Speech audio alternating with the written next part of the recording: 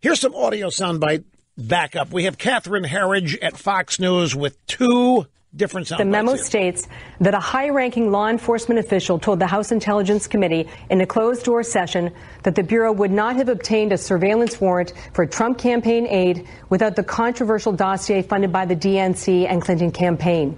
We also understand the memo states the FBI and Justice Department, in their application to the highly secret surveillance court known as the FISA court, used media reporting to lend credibility to the dossier that was compiled by the opposition research firm Fusion GPS. And here is the next bite. This was uh, this is about an hour, a little over an hour ago from Catherine Herridge, but I just wanted you to hear it from other sources. What's key here is that Fox has previously reported, based on British court records, that former British spy Christopher Steele briefed six American media outlets on the dossier and the allegations against then candidate Trump. So this does appear to be circular reporting that was used to lend credibility to the dossier. After Steele's contact was cut off with the Bureau, we now understand the four page memo states that Steele and Fusion GPS, the firm behind the Trump dossier, continue to pass information to the FBI through the Justice Department official Bruce Ohr, who was recently demoted over his contacts with Fusion GPS and Steele. We are also told that there is evidence that Steele had a personal animus against then candidate Trump. It's worse than a personal animus. He told Ohr that he detested Trump and didn't want Trump getting anywhere near the White House.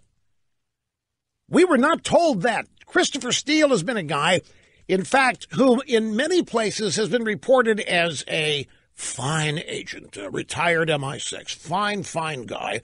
Uh, has done great work in the past, kind of been out of the game for the past couple of years, but they found him, and the guy does credible work. That's what we were told. We didn't, we were not told this guy pretty much hated Trump. We were not told this guy was in this because he detested Trump and that he was passionate about Trump not making it to the White House.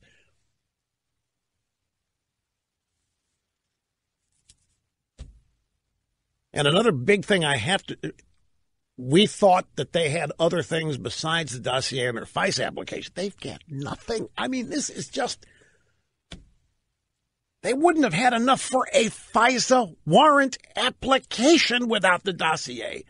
And they knew of its political origins. They knew it wasn't intel when they went to the FISA court to get the application to spy, to get the warrant. They knew all of this. And here is President Trump and his reaction. This in the Oval Office earlier today. I think it's terrible. You want to know the truth? I think it's a disgrace. What's going on in this country, I think it's a disgrace. The memo was sent to Congress. It was declassified. Congress will do whatever they're going to do. But I think it's a disgrace what's happening in our country.